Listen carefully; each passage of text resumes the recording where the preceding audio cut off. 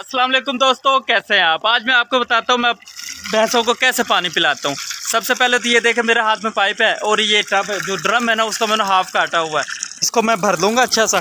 फिर वहाँ पे मेरी बफलोज है एक एक खोल के यहाँ पे मैं लेके आऊँगा फिर। मैं आपको दिखाता चलूँ, वो वहाँ पे मैंने भर दिया। यहाँ पे ये जो बफलोज है ना एक एक करके खोल, खोलूँगा इनको। फिर मैं इनको वहाँ पे लेके जाऊँगा। ताकि वहाँ पे पानी पी ले। पानी पिलाने के बाद इनको ये आपको खोटे नज़र आ रहे हैं इनको। इनके साथ मैं इनको बाँध दूँगा।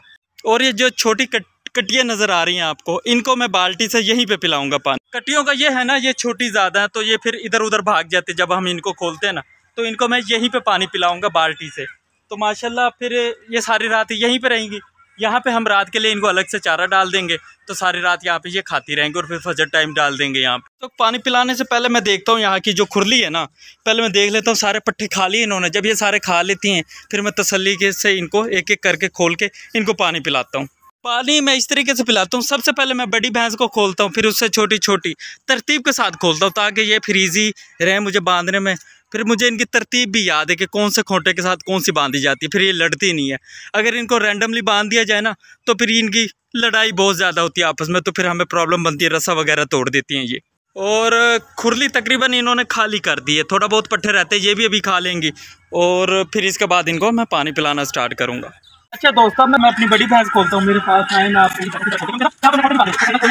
खेलना इसको मुश्किल है। क्या देखते हैं इसको इस तरह खोला यहाँ से। ये माशाल्लाह अब खोल ली है अब मैं इसको वहाँ पे लेके जाऊँगा, हाथ से पकड़ के। खोलने के बाद अब मैं इसको टप के पास लेके जाऊँगा। फाइनली अब आ गए मैं अपने टप के पास आ गया माशाल्लाह ये फुल कर दिया और टर्बाइन वहाँ से बंद कर दिए रहेगी आज तो मौसम ठंडा इस वजह से इसके ऊपर पानी नहीं डाल रहा। अगर मौसम गर्म गर्म होता तो हम इसके ऊपर ना पानी भी डाल देते, आगे थोड़ी स्कूल डाउन हो तो इस तरह बारी बारी करके सारी भैंसों को पानी पिलाया जाता है। तो गाँव में ना बड़े मज़े की लाइफ होती है। गाँव की एक बड़ी प्यारी लाइफ है। इसके बाद कटियों की बारी आती है।